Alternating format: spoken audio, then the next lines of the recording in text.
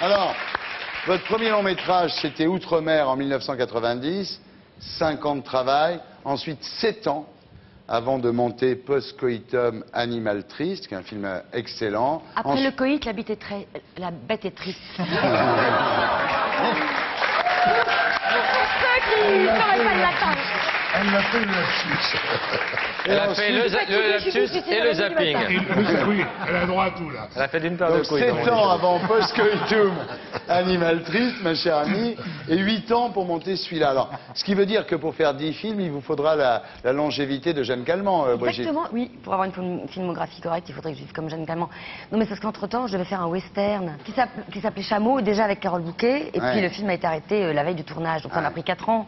Donc après, on est reparti sur notre. Voilà.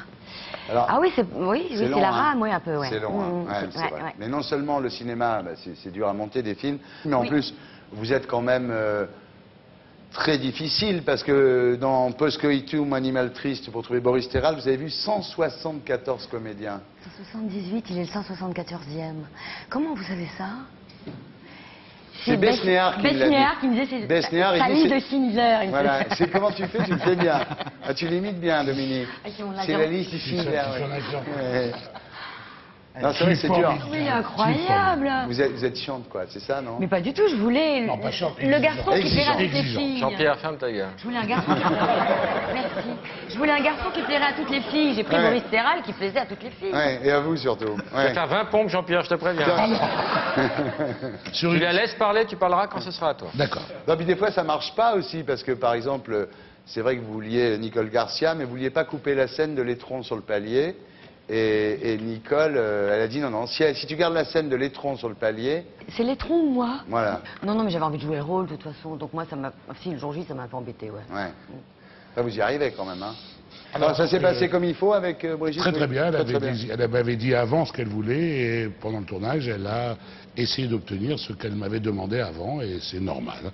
Elle est comme tous les grands metteurs en scène, exigeant, euh, précis, pointu quelquefois, même spectateur, elle arrive à rire, ce qui est rare. Ah oui, oui, je ouais, ça, je suis pas très maline. Parce que je Voilà. me mets sous la caméra, et je les adore et, je, Et- la caméra bouge, quoi. oui, Voilà, c'est je ça, pas bien, pas bien. Dis-moi, Jean-Pierre, t'as pas été très surpris en fait par la discipline de la première compagnie parce que tu as été élevé dans une pension anglaise en Argentine Oui. où tu as pris des coups, hein J'ai pas pris des coups. Il y avait euh, dans le règlement, il y avait ce qu'on appelle les punitions corporelles. Oui, oui. C'était normal.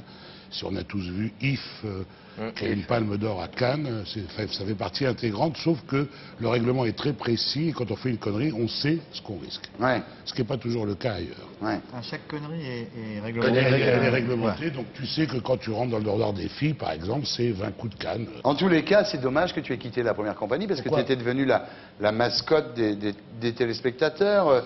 Tes ronflements, tes douches tout c'est- les, les gens s'y étaient habitués. Tu, tu sais, euh, L'idole des radiologues Euh, Oui, euh, oui euh, l'idole des radiologues, oui. de- ça nous appartient pas. Moi, je ne sais pas ce qu'ils montrent, je ne sais pas ce qu'ils filment. Donc, euh, Et pourquoi tu es devenu la bête noire des autres? euh, parce qu'ils avaient peur peut-être que j'aille en finale, alors que j'avais pas fait d'effort physique. Ouais. Ils te détestaient, t'as vu, en revenant, t'as vu les, les images, t'as vu comment ils te cassaient du sucre t'appelait sur la chose. Ouais. J'arrive pas à leur en vouloir. Ouais. Parce Même à l'autre con, on est là. enfermés dans un, on est dans un cercle fermé. Et ils, ils pensaient tous à gagner, donc euh, Ouais. tu gagnes. Ouais.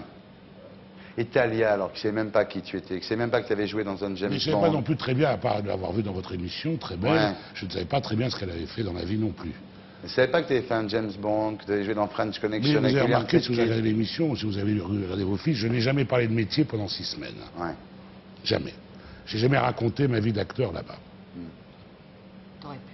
Oui. Bah oui, tu aurais Et pu, les parce jours, que, c'est des ouais. douze salopards, quand même. Pourquoi tu as fait la première compagnie? Pourquoi je l'aurais pas faite? C'est un clin d'œil à ton fils qui a réussi grâce à, à Love Story? Je pense que Benjamin, il n'a pas réussi que grâce au Love Story. Il est devenu connu grâce à Love Story. Mais disons que ce qu'il fait aujourd'hui, euh, ou ce qu'il a fait après, prouve qu'il avait quand même un potentiel euh, suffisant pour réussir. Ouais. T'en es où avec Benjamin aujourd'hui? C'est mon fils. Toujours, ça n'a pas changé, ça. Ça n'a pas changé.